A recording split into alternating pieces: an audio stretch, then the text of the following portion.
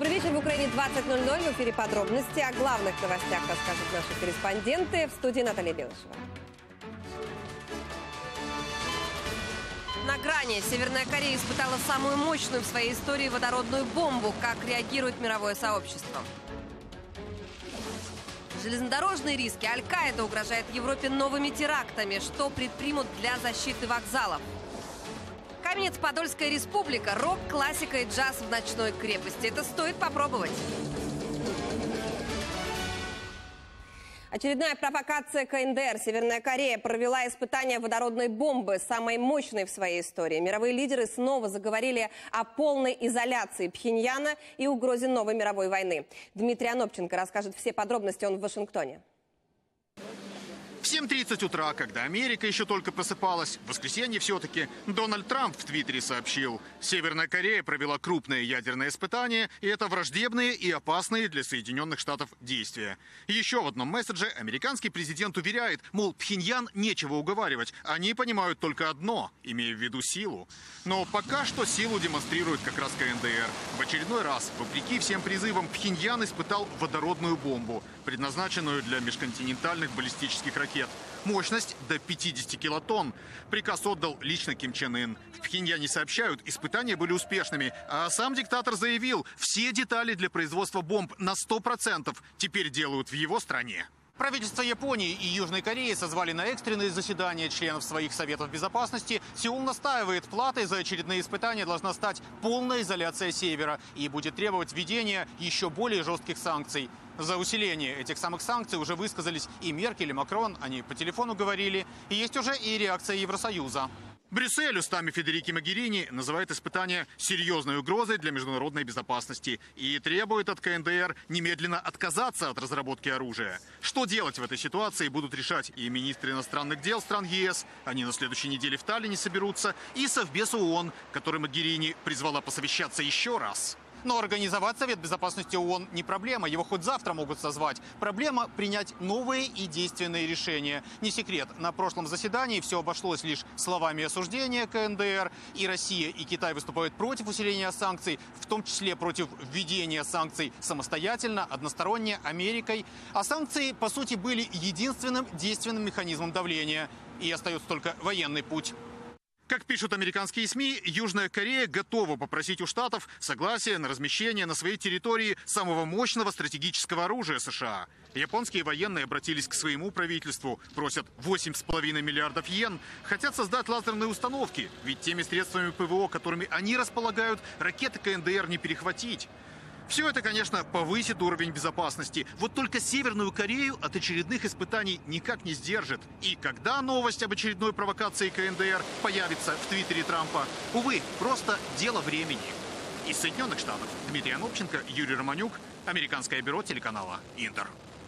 Аль-Каида угрожает Европе новыми терактами, на этот раз в зоне риска железной дороги. Какая страна может стать мишенью, насколько серьезна эта угроза и что предпринимают спецслужбы. Все подробности узнаем от Татьяны Лагуновой.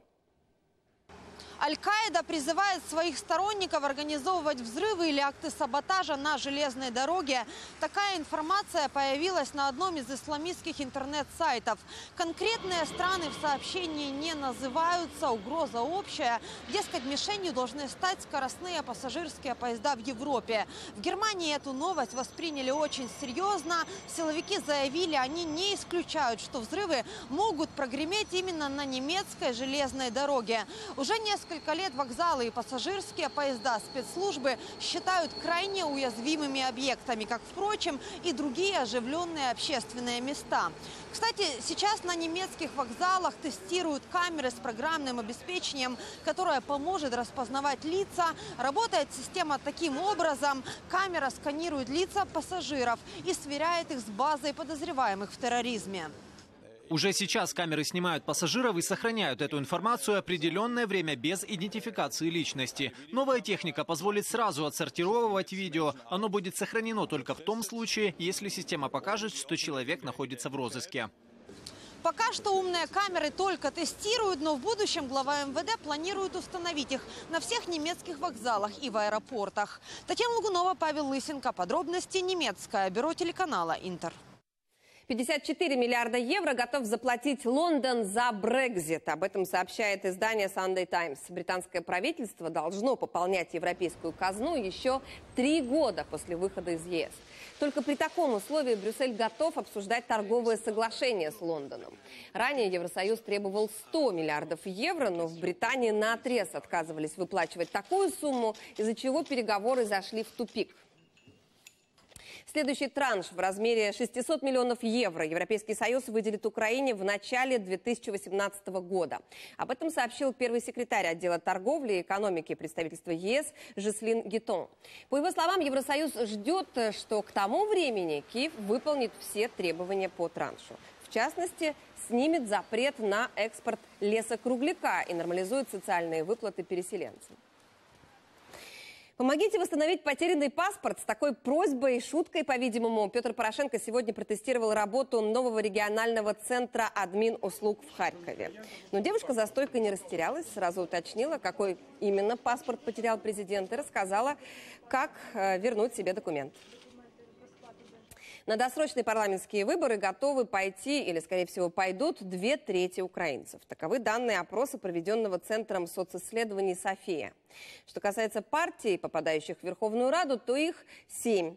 Более 11% опрошенных отдали бы свои голоса за Батькивщину, более 10% за оппозиционный блок. Тройку лидеров замыкает блок Петра Порошенко, чуть больше 9,5%. Опрос провели в период с 6 по 12 августа во всех областях, кроме неконтролируемых территорий и аннексированного Крыма. Участвовали в нем более 1200 человек. Погрешность около 3%. Сегодня боевики около 20 раз атаковали позиции украинских военных в зоне АТО. Об этом сообщают в пресс-центре штаба. По опорным пунктам ВСО стреляли из минометов, пулеметов, стрелкового оружия. Наши ответный огонь не открывали, согласно минским договоренностям и так называемому школьному перемирию. Все подробности расскажет Геннадий Вивденко. Противник здесь буквально выжигал украинские позиции. Вот видно проплешины, где горела буквально земля. Огонь удалось, слава богу, остановить. В темное время суток автоматические гранатометы и крупнокалиберные пулеметы, другое стрелковое вооружение. Так оккупанты придерживаются школьного перемирия. Но бойцы на фронте считают, что это фактически тишина. Этой ночью позиции украинских военных на Донецком направлении несколько раз обстреливали из гранатометов и пулеметов. Какие-либо провокации, стрелкового оружия, из э, оружия, из АГСов, гранатометов, пулеметов. Поэтому я думаю, то, что перемирие долго не продлится, но мы готовы дать противнику отпор. Газ не вважається. Вважається це 120 міни, 80 оце вважається. Що обстріли, а так, як стрілкутня це. Пока идет, так сказать, мнимое перемирие, работники Авдеевского Коксахима восстанавливают провода высоковольтной линии электропередач после многочисленных обстрелов. Они, как здесь говорят, распушены, то есть повреждена оболочка кабеля. Осколок цепляет провод и не перебивает до конца, а получается как бы, ну, стальная середина висит, а, а алюминий получается, ну, распушен. Вот он сейчас обмотает и все. Устранили повреждения, едем дальше работать. Как вам школьное перемирие? Чувствуется? Чувствуется, конечно. В чем? Меньше стреляют. Главное. В Авдеевке безопаснее будет со светом. В то же время в промзоне и на шахте Бутовка несколько раз стреляли сегодня днем. На Мариупольском направлении обстрелы из гранатометов по защитникам Водянова, Талаковки и Гнутова. Это тут уже не считается опасностью, но морпехи на Чеку на неделе проводили учения. 60 километров бегом в прибрежном песке с полной выкладкой. На виду у отдыхающих на прифронтовой территории. Такі навчання потрібні для того, щоб загартувати дух морпіха, фізичну форму, те, щоб ну, подальшому вміло показувати та витримувати умови бойових дій. Ну нічого. Тяжело в учении, легко в бою. Нормально. Мы же морская пехота Украины. Нам легко. За неделю не погиб ни один украинский боец. Громко, с обстрелами, школьное перемирие продолжается. Геннадий Вивденко, Вадим Ривун, Сергей Байдала. Подробности. Телеканал Интер из Донецкой области. Германия готова возобновить диалог с Россией, но при условии выполнения Минских соглашений. Об этом заявила канцлер Ангела Меркель. По ее словам, стабильности в Европе можно достичь только вместе с Россией, поэтому даже несмотря на конфликты, связанные с Украиной, отказываться от контактов с Москвой не стоит, отметила канцлер. Но интенсивные переговоры могут начаться только после реализации Минских договоренностей. С точки зрения европейской политики безопасности и обороны мы должны приложить приложить все усилия для улучшения переговорных контактов с Россией. Это подразумевает также реализацию Минских соглашений. Если это удастся, тогда мы сможем снова вести более активные и интенсивные переговоры. Глава МВД Асан Аваков скрывает свои доходы и не платит налоги. Об этом во время э, своего визита в Луганскую и Донецкую области заявил народный депутат, лидер социал-демократической партии Сергей Каплин. Он также сообщил, что от имени СПУ и социал-демократов обратился в контролирующие органы с просьбой детально проверить декларацию главы МВД. Я в чергове звертаюся до Національного антикорупційного бюро, до е, прокуратури, до НАЗК з вимогою перевірити сплату податків Аваковим міністром внутрішніх справ України е, від низки операцій, е, зокрема продажу Е, рухомого і нерухомого майна. За моєю інформацією, всі перелічені факти є підставою для звільнення Авакова з посади міністра внутрішніх справ. Як мінімум, відсторонення його з посади міністра внутрішніх справ на час розслідування Нет граффити, нет магазинов. В столице на улице Грушевского несколько человек разгромили вход в магазин мебели. Разбили стекла, забросали яйцами, разрисовали фасад надписями и даже жгли шины. Причиной стало исчезновение патриотического граффити, которое нанесли во время революции достоинства. Ранее директор этого магазина назвал их типичным стрит-артом, который время от времени удаляют коммунальные службы. На это отреагировал вице-премьер Вячеслав Кириленко в соцсетях он э, написал, что эти рисунки – часть экспозиции музея Майдана, и за их уничтожение предусмотрена уголовная ответственность. А уже ближе к вечеру киевские художники заявили, что восстановят эти рисунки. Контрабандную партию наркотиков изъяли пограничники на украинско-польской границе. Через пункт пропуска Рава-Русская четверо граждан Молдовы пытались перевести почти 60 килограммов гашиша, спрессованного в брикеты. Это 143 пачки. Наркотики переправляли из Польши в Украину в кузове автомобиля. Контрабанду пограничники обнаружили во время дополнительного осмотра. Машину изъяли, а нелегальный груз конфисковали. Эвакуатор «Мерседес» який перевозив авто такої ж марки Мерседес після ДТП. Під час огляду прикордонники виявили поліетиленові пакети з пресованою речовиною коричневого кольору. Наркотична речовина була захована в конструктивних порожнинах автомобіля, а саме в крилах, в порогах, підкрильниках, а також в сидіннях авто. Уличные беспорядки в Одессе. Активисты разгромили стройку, которую начали возле памятника архитектуры, так называемого дома с одной стеной. Удалось ли полиции повлиять на ситуацию, знает Андрей Анастасов. Дом с одной стеной в двух шагах от памятника Дюку. Он построен таким образом, что под определенным углом создается визуальный эффект, будто здание плоское. Этот оптический обман любят наблюдать туристы. Достопримечательность входит практически во все экскурсионные программы. Говорят, что в Амстердаме очень много таких домов, но то Амстердама это Одесса. И тем не менее, все-таки некоторые люди не ценят и начинают застраивать эту великолепную стену. Вот так эта часть переулка выглядела десятилетиями. Но несколько лет назад соседнее строение выкупили и начали реконструкцию. Одесситы возмутились. Из-за строительства исчезнет эффект дома стены. Застройщики тогда ответили, мнение горожан учли и проект переделали.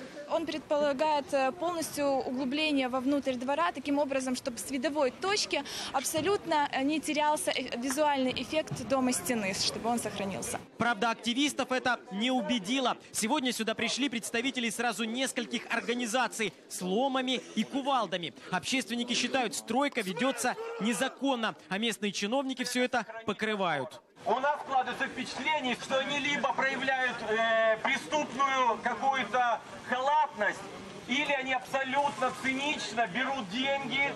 Активисты поодиночке прорываются на стройку, начинают рушить конструкцию. Другие штурмуют ворота, прорывая полицейский кордон. И так несколько раз. Правоохранителям даже пришлось применить слезоточивый газ.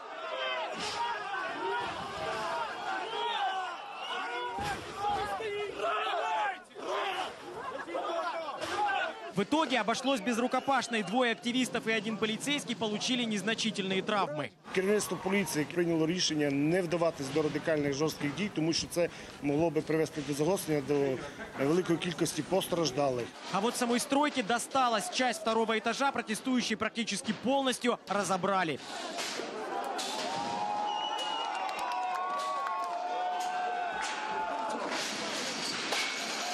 Полиция открыла уголовное производство по статьям хулиганства и уничтожения чужого имущества, а стороны конфликта, как ожидается, на днях все же сядут за стол переговоров.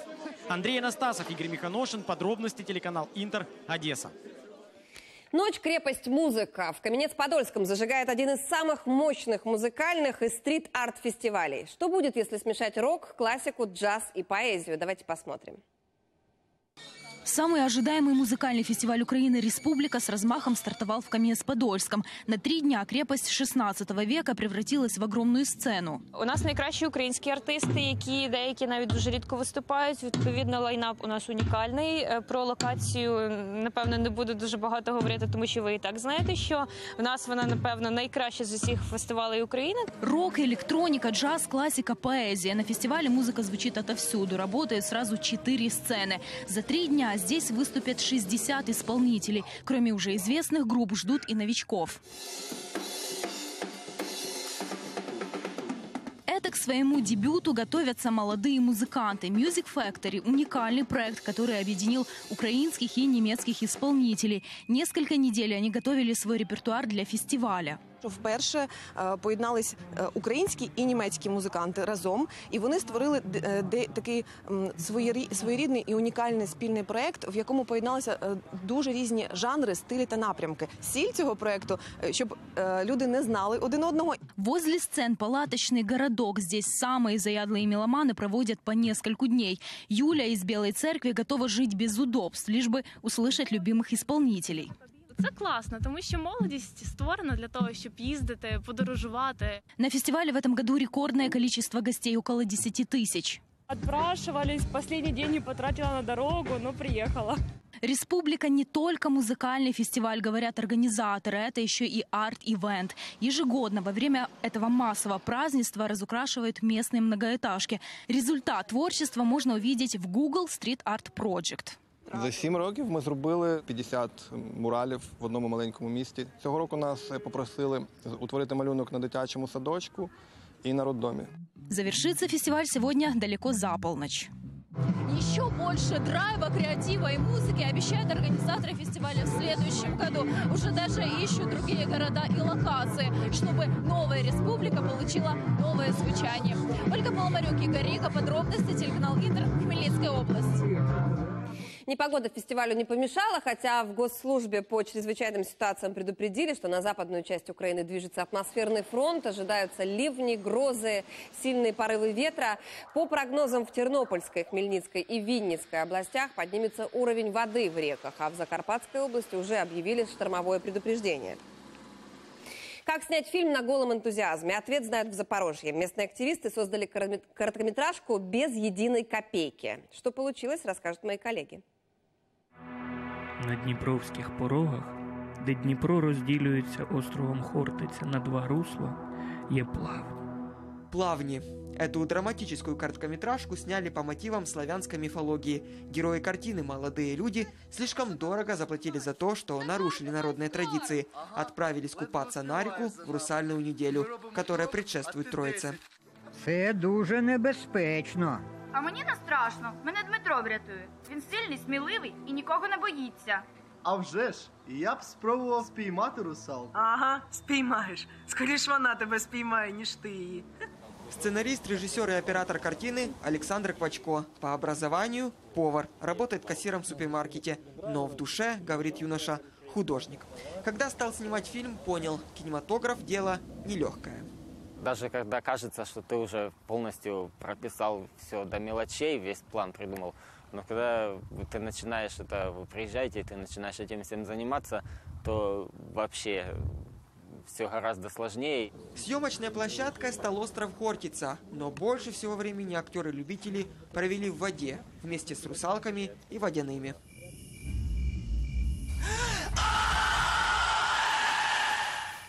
Ужас изображать было несложно, потому что это кадры, которые попадали в фильм, это обычно уже кадры, которые получились с дубля 20-го.